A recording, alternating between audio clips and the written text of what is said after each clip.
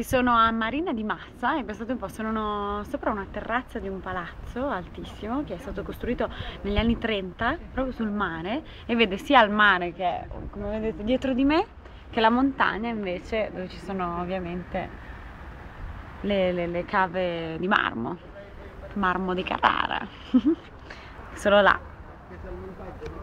Veramente stupendo, pensate un po', negli anni 30